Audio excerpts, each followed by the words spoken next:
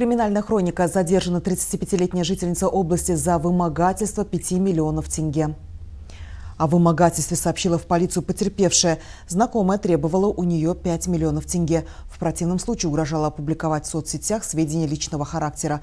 В результате оперативно-розыскных мероприятий в дежурные сутки была задержана 35-летняя жительница области. В настоящее время начато досудебное расследование.